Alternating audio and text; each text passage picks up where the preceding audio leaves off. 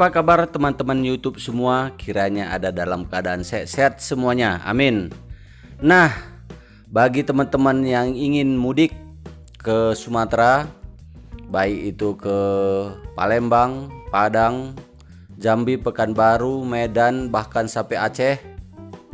Nah, bila mana teman-teman mudik kali ini menggunakan mobil sendiri atau mobil pribadi,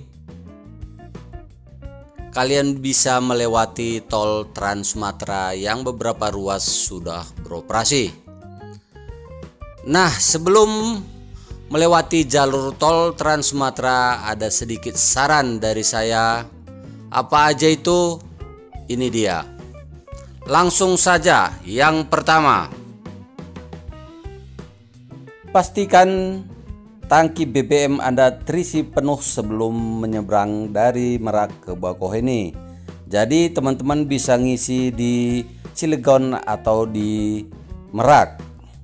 Karena beberapa kali saya melewati tol Trans Sumatera, ada beberapa stasiun pengisian BBM di rest area ternyata tertulis dalam pengiriman dan antar jarak uh, rest area yang pertama dan kedua cukup jauh. Jadi sebisa mungkin kita isi full tank di Merak. Artinya sebelum kita menyeberang ke Bakauheni.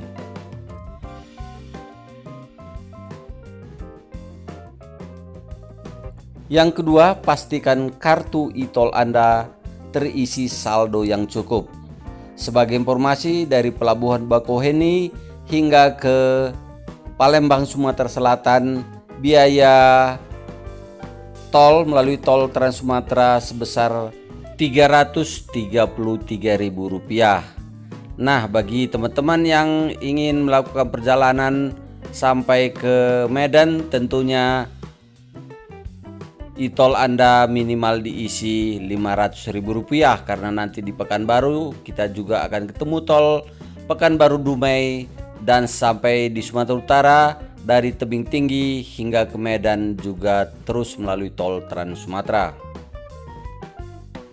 Nah, yang ketiga, pastikan kendaraan Anda dalam kondisi yang prima karena jalur yang kita lewati dari Lampung hingga ke Palembang aja lebih dari 365 km.